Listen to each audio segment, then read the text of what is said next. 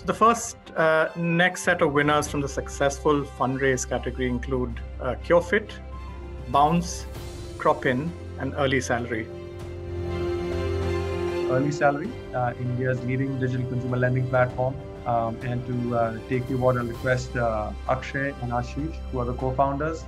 Thanks, Karan. I want to first thank Sudhir, TCM, uh, Karthik, and the team at uh, They've been with us, uh, I think, cross rounds A, B, and C. And I think we have really built a company where we are very proud that we have been able to help many uh, people across the country. I think most importantly, I think we continuously see TCM, Karthik come back to us and say, why don't you innovate? What more can you do? Can you have a better product offering for consumers? I think that's what drives us every day to keep innovating.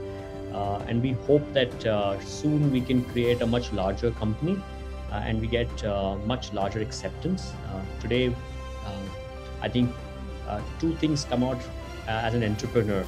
First um, is the ability of the VC and the PE community to go behind young people to set up new enterprises. I think it's a great experience.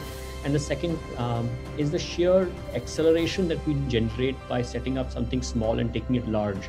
Um, uh, seeing the first transaction happen to now see almost uh, 100 120 crores a month happening as a, as a platform. It's a, it's a great experience and we hope that we can grow this by 10x and we really thank the team at uh, Chiratae to be behind us and hopefully one day we have a large exit. Thank you